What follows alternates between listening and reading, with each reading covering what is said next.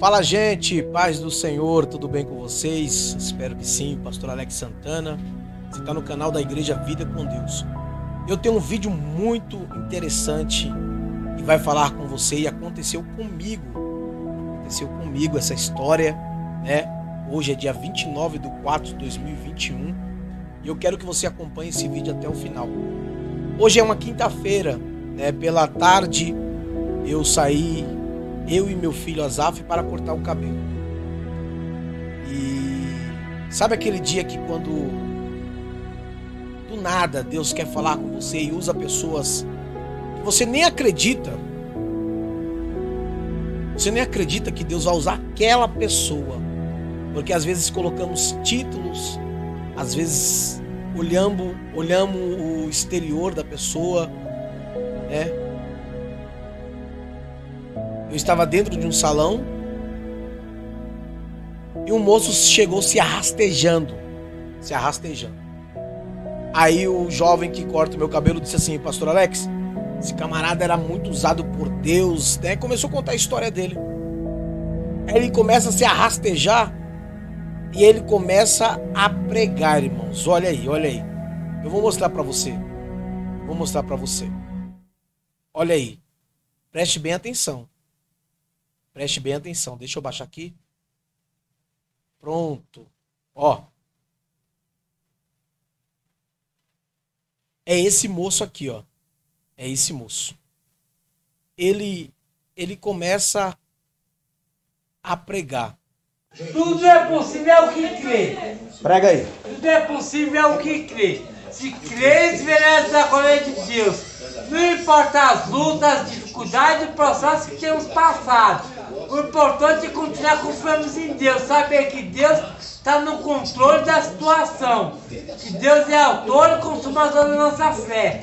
Pode a medicina dizer que não tem jeito, pode a ciência humana, a medicina, ou a, o país está em crise. Mas a última palavra quem dá é Deus.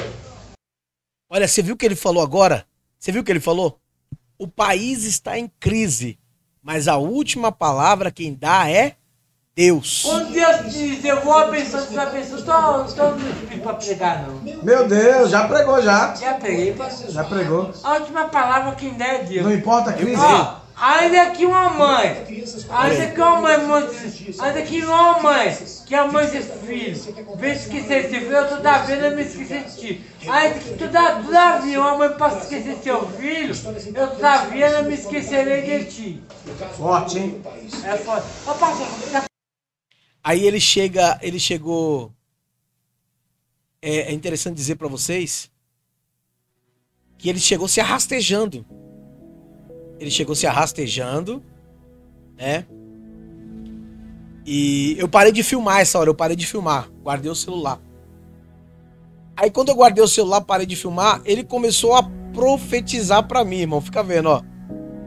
Olha, irmão, Deus usa quem ele quer, irmãos. Deus usa quem ele quer da maneira que ele quer. Eu não sei como Deus vai falar contigo nesse nesse vídeo.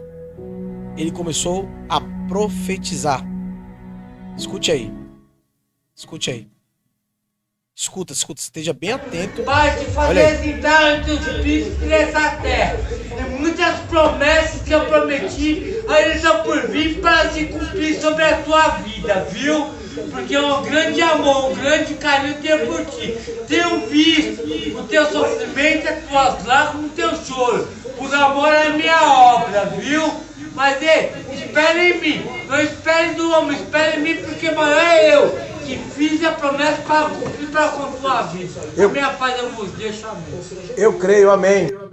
Gente, a gente né, costuma a ver alguém bem trajado, bem vestido, bem arrumado, e a gente não damos valor quando Deus quer usar né, as pessoas para nós. Você viu o que ele disse? Não dependa do homem, dependa de Deus. Então esteja atentos para ouvir o que Deus tem para falar contigo, independentemente das pessoas. Vou soltar. Amém. Deus abençoe, meu amigo. Amém, pastor. Eu recebo. Não, não foi a toa que eu vim aqui, mano. Eu creio. Não foi, Olha aí que ele falou, ó. Não foi à toa que eu vim aqui, pastor. Ô, pastor, pastor, não foi à toa que eu vim aqui. Você tá vendo, gente? Quando Deus quer usar, ele usa. É... E esse vídeo falou muito comigo. E eu tenho certeza que vai falar contigo também. Deus usa pessoas. Não importa a crise, não importa o que você está passando. Ele ainda é Deus, está ouvindo a tua oração. Deus te abençoe em nome do Senhor Jesus.